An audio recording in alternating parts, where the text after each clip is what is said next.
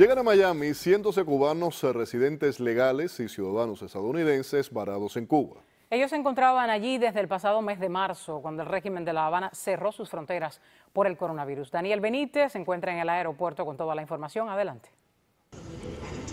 Sí, muchas gracias. Muy buenas tardes. Hace tan solo unos minutos arribó este segundo vuelo procedente desde La Habana, Cuba. Pudimos conversar con varios de estos viajeros quienes nos dijeron que se encontraban desesperados por llegar aquí a Miami y estar con su familia después de pasarse meses varados en Cuba. Esta madre hoy se encuentra feliz. Después de tres meses por fin puede abrazar a su hija, quien se encontraba en Cuba.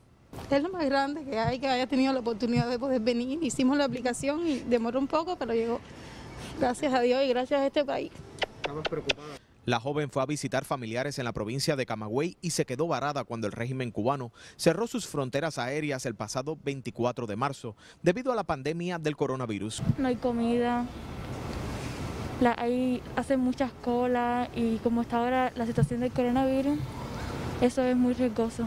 En el primer vuelo desde La Habana, que llegó a Miami después de la una de la tarde de este miércoles, viajaron unos 300 pasajeros. La operación de traslado fue realizada por la compañía Delta en conjunto con la Embajada Norteamericana en Cuba. Demasiada cola, muchas personas tomaban las medidas sanitarias, muchas personas no. Desgraciadamente hay personas que respetan, hay personas que no respetan, pero así, así es la cosa. Bueno, porque yo tengo mis hijos allá y ni modo. No, claro, aquí todo es vile, cuentas que hay que pagar, ni modo, hay que, había que venir. Y es como único no puede ayudar la, la, la familia en Cuba. Los viajeros aseguraron que para quienes estaban fuera de La Habana se habilitaron transportes especiales para llevarlos al aeropuerto, donde les hicieron un chequeo médico, algo que no sucedió al llegar a Miami. No, aquí no.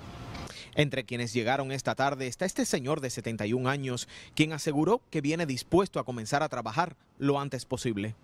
Los primeros 14 días estuve en cuarentena, me dijeron, me hicieron análisis, estaba por negativo, y tuve 14 días trancado sin poder salir de la casa.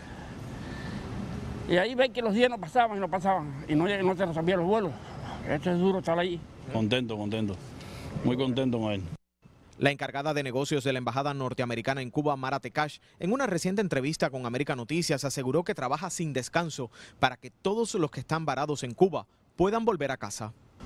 Y se calcula que antes de estos dos vuelos de este miércoles en Cuba se encontraban varados unos 800 ciudadanos norteamericanos. Para mañana jueves está previsto otro vuelo también operado por la compañía Delta que debe llegar aquí al Aeropuerto Internacional de Miami. Por supuesto, estaremos al tanto.